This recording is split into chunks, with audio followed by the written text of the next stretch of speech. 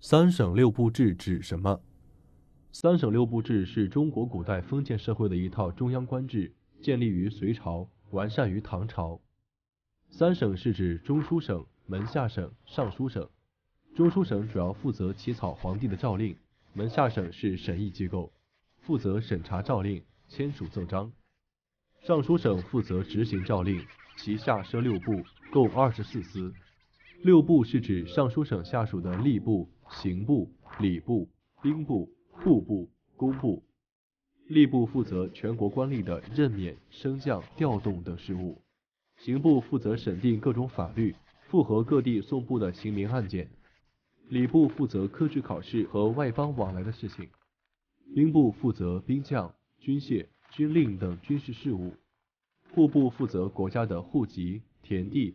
赋税等财政事务，工部负责营造工程屯田、水利、工匠等事务。